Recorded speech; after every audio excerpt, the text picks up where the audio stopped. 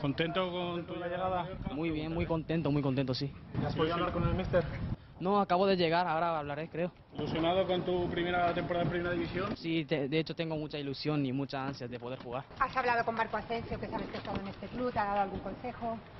No, pero me trató muy bien porque, bueno, durante la pretemporada y eso, pero él es seleccionado, es mejor de- dejarle tranquilo. Como preparado ya para debutar el domingo, ¿no? ¿Vale? Bueno, eso por mí sí.